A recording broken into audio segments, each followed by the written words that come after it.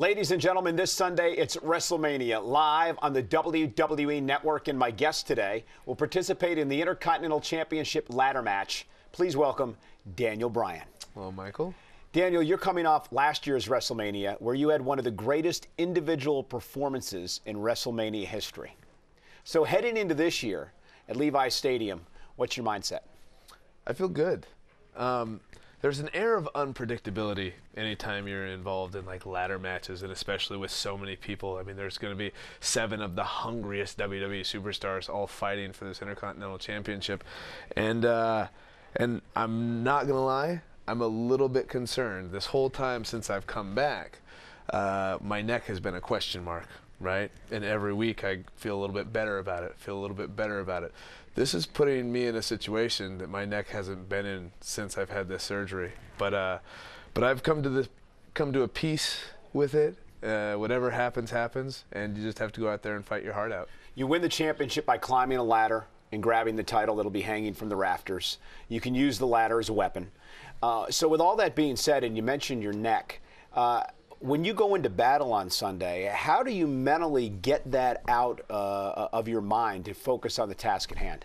I mean, it, it's the same thing that happens in, in every match because you always have this obstacle in front of you. And for me, it's always usually a larger obstacle. And so you have to get rid of the fear. You have to get rid of this idea that your body's going to be in pain. You have to accept that those things are going to happen. And especially when you're climbing so high, and some of those ladders are as tall as 15 feet you know, and you never know what's going to happen. Dean Ambrose is out there. You saw Dean Ambrose and Bray Wyatt's matches that involved ladders, that involved tables, and all that kind of stuff. You know the craziness that somebody like Dean Ambrose is going to bring. There was a ladder match between Dolph Ziggler and Luke Harper at TLC this year, and you saw the craziness that that, that brought. Luke Harper nearly broke his arm diving out onto Dolph on the floor through a ladder right? So we've got a lot of people in this match who aren't exactly the uh, the most hinged people uh, on the planet. So you've got to expect the unexpected, and you've got to expect that it's going to be crazy.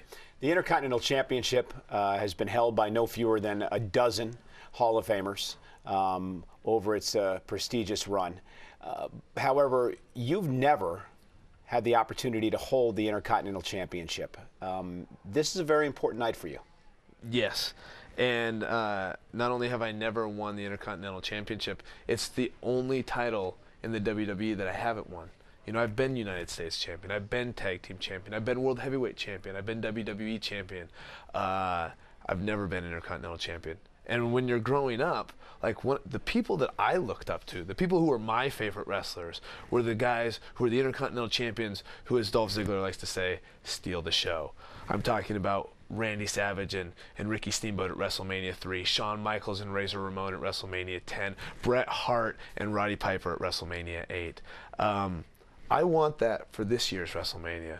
I don't want people to be talking about Sting. I don't want them to be talking about Brock Lesnar. I don't want them to be talking about The Undertaker. I want them to be talking about the Intercontinental Championship and the ladder match that took place at WrestleMania 31. Will you do anything to win the Intercontinental title on the grand stage? I mean, anything is a broad spectrum of things, you know, like, no, I won't pull my pants down to distract R-Truth just to get the title. But will I do anything I physically can to climb up that ladder and get the title? Absolutely. Your prediction comes Sunday at WrestleMania. My prediction, and this this better be every prediction of every person in that ladder match, is that I am going to win.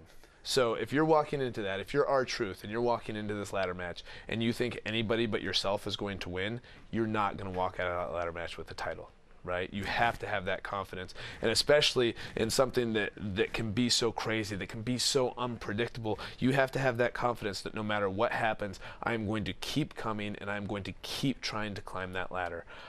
I believe in myself, um, and I believe that I'll walk out of WrestleMania 31 as the Intercontinental Champion. We'll never forget that image of the Superdome last year.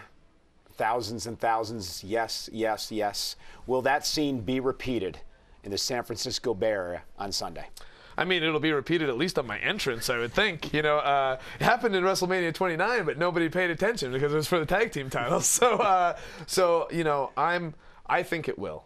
Um, but I've thought a lot of things that don't actually happen. So uh, so we'll see. And that's you know and that's one of the beauty of, of these things for a fan. For a fan, this match is a fan's dream match because we're going to go out there and do whatever it takes, each and every one of us, to walk out with the Intercontinental Championship. Uh, but I I believe I'll walk out as the Intercontinental Champion, and I believe that we'll have 70,000 people chanting yes afterwards. Daniel, good luck on Sunday. Thank you very much.